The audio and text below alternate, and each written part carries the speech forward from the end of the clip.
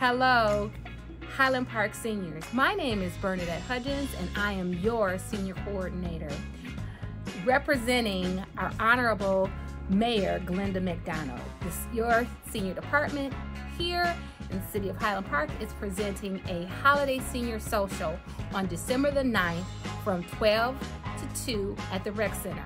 Fun holiday attire we're expecting you all to wear so we can have a good time. We will have food, will have raffles, we will have gifts, and we will have fun. So we look forward to seeing you on Saturday, December the 9th from 12 to 2 at the Rec Center. See you there.